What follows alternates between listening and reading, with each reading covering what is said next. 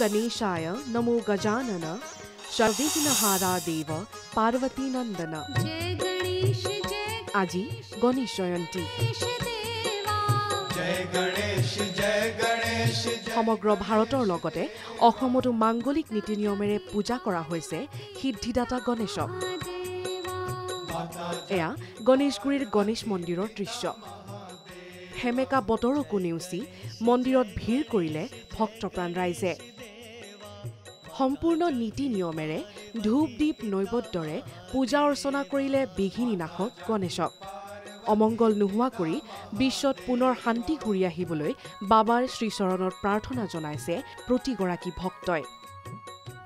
পূজাৰ আধ্যাত্মিক পৰিৱেশৰ মাজতো গুৰুত্ব দিয়া হৈছে কভিড বিধিক। সম্পূৰ্ণ কভিড প্ৰটকল মানিহে সিদ্ধিদাতা গণেশক পূজা কৰিব পাৰিব বুলি জানিবলৈ দিয়ে মন্দিৰ পৰিচালনা সমিতিয়ে।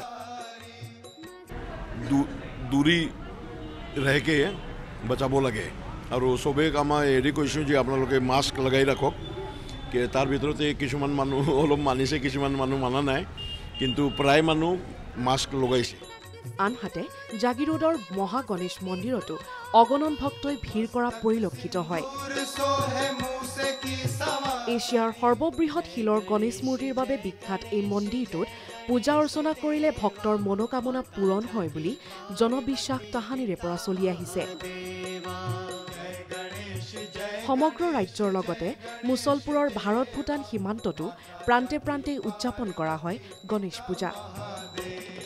লগতে বাক্সাৰ সীমান্তৱৰ্তী বিভিন্ন প্ৰান্তত বনৰীয়া হাতীৰ উপদ্ৰৱ ৰোধ হোৱাৰ কামনাৰে আৰাধনা কৰা হয় গজাননক।